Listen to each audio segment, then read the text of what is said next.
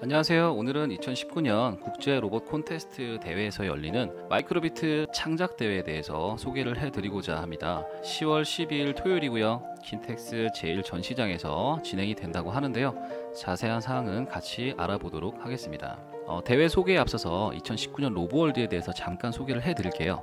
어, 2019년 10월 9일 수요일에서부터 10월 12일 토요일까지 킨텍스 제1 전시관에서 진행이 되고요. 로보월드는 국제로봇 산업대전, 국제로봇 컨테스트, 국제로봇 컨퍼런스가 동시에 진행이 되고 국제로봇 콘테스트에서 마이크로비트 창작 대회가 진행이 될 예정입니다. 전시 품목은 제조업용 로봇, 스마트 제조 솔루션, 스마트 응용 및 소프트웨어까지 다양한 품목들이 전시가 된다고 하네요. 우측에 자세한 일정이 있으니까 참조를 해 주시고요. 어, 여기서 중요한 내용은 규모를 보시면 참가업체 25개국에 250개사 무려 750개의 부스가 어, 출전을 한다고 합니다. 참관객은 7만 명이나 된다고 하네요. 아주 큰 행사인 것 같습니다. 다음으로 WCRC에 대해서 소개를 잠깐 해드릴게요. 한국 로봇 교육 컨텐츠 협회가 주관하는 행사고요. 어, 행사명은 WCRC라고 어, 명칭을 합니다. 이 대회 성적 우수자에게는 세계대회 본선 진출권이 부여가 된다고 하네요. 무엇보다 중요한 건 산업부 장관상이 걸려 있다고 하니까 어, 재능이 있으신 분들은 꼭 도전을 해보시기 바랍니다. 행사 세부 일정 및 참가 대상인데요. 어, 앞서 소개해드린 바와 같이 대회명은 마이크로비트 창작 대회입니다. 참가 모집 공고가 9월 30일까지 얼마 남지가 않았네요. 빨리 진행을 하셔야 될 것 같습니다. 대회일은 10월 12일 토요일 2019년 로보월드 국제로봇 컨테스트 킨텍스 내에서 진행이 될 예정이고요. 어, 종목은 말씀드렸듯이 마이크로비트 창작이고요. 참가 대상자는 시니어와 대학 일반으로 구분되어 있습니다. 어, 지금 보시는 내용은 어, 행사 당일날 세부 일정이기 때문에 참조만 해주시면 좋을 것 같습니다. 네, 마이크로비트는 다들 잘 아시다시피 영국의 BBC 방송사가 학생과 교사들을 위해 프로그래밍하는 방법을 배우도록 설계한 포켓 사이즈의 마이크로비트 컨트롤러 미니 컴퓨터입니다. 무엇보다 어린이들이 손쉽게 컴퓨터를 사용할 수 있고 코딩을 할 수 있도록 만들어진 점인데요. 어, 마이크로비트는 DIY 디지털 게임, interactive 프로젝트 및 로봇공학, 어, 창의력이 요구되는 모든 분야에서 누구나 쉽게 코딩을 할 수 있다는 장점이 있습니다. 어, 마이크로비트는 32비트 ARM Cortex 프로세서와 가속도계, 나침반, 마이크로비트 USB 커넥터, 블루투스 등 다양한 옵션을 지원을 하고 있고요. 자바스크립트에서부터 파이썬까지 다양한 언어를 지원한다고 하네요.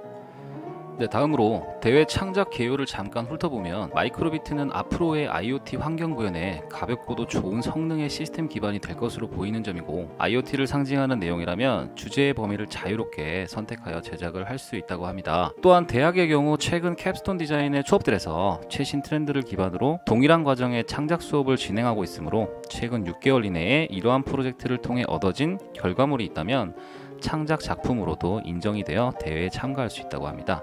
시니어 부문에서도 동일하게 최근 6개월 이내에 제작한 작품이라면 대회에 참가할 수 있다는 점 눈여겨볼 만합니다. 다음으로 기술 문서 제출에 관한 내용입니다. 기술 문서는 프레젠테이션 형식이나 일반적인 문서 형식으로 제출하면 되고요. 파일 취급의 편리를 위해 PDF로 함께 제출해 주시면 되겠습니다. 자세한 사항은 화면을 참조해 주시기 바랍니다. 아참, 무엇보다 중요한 건 정해진 일정까지 기술 문서를 제출해야 하며 이 부분이 전체 평가 점수의 50%나 된다고 하니 꼭 참고해 주시기 바랍니다. 네, 작품 발표는 대회장에서 접수 순서대로 각자의 작품을 심사위원에게 설명을 해 주시면 됩니다. 발표 시간은 5분이고요. 발표 준비는 사전에 꼭 해주시기 바랍니다. 그리고 경우에 따라서는 준비한 작품이 컨셉을 나타나는 것으로 실제로 그 기능을 수행할 수 없는 경우도 있으므로 기술 문서나 발표 자료 등으로 설명하여 대체할 수 있다는 점 참고해 주시고요. 발표 후 질문 시간은 10분 이내라고 하니까 긴장하지 마시고 준비한 내용을 명쾌하게 해주시면 되겠습니다. 네, 심사 기준은 총점 100점 만점으로요. 기술 문서 50점과 작품 발표 50점으로 나뉩니다. 기술 문서의 경우에는 창작 주제, 개발 배경, 구현 목표, 구현 방법, 기술 구현 극복 사항이 각 10점씩 부여가 되겠고요. 작품 발표의 경우에는 창의성, 완성도 등이 각 10점, 그리고 발표 및 질의 응답이 30점으로 구성되어 있습니다. 네, 행사와 관련한 전반적인 내용은 여기까지고요. 그간 저희 IC뱅크에서 마이크로비트를 응용한 여러 가지 데모 작품들을 소개해 드린 적이 있습니다. 마이크로비트를 이용한 오토마타, 홈 IoT, 그 다음에 홀로그램 라디오 제어, LED 큐브 제어 등 코딩과 DIY에 관심 있는 분들이라면 누구나 만들 수 있으니까 어, 이번 대회에 꼭 한번 도전을 해 보시면 좋겠습니다. 특히나 최근에 출시된 교재와 함께 많은 분들이 찾고 계시는 마이크로비트 지니어스 키트를 이용하면 이번 대회를 준비하시는데 큰 도움이 될 수 있을 것 같네요. 화면에 보시는 것과 같이 IoT를 포함한 간단한 프로젝트는 누구나 만들 수 있기 때문입니다. 네, 저희 IC뱅큐가 직접 출간한 마이크로비트용 기술 서적은 보시는 바와 같이 두 권이 있으니 참조해 주시면 되겠고요. 어, 지금까지 2019년 국제 로봇 콘테스트에서 진행되는 마이크로비트 창작 대회에 대한 소개였습니다.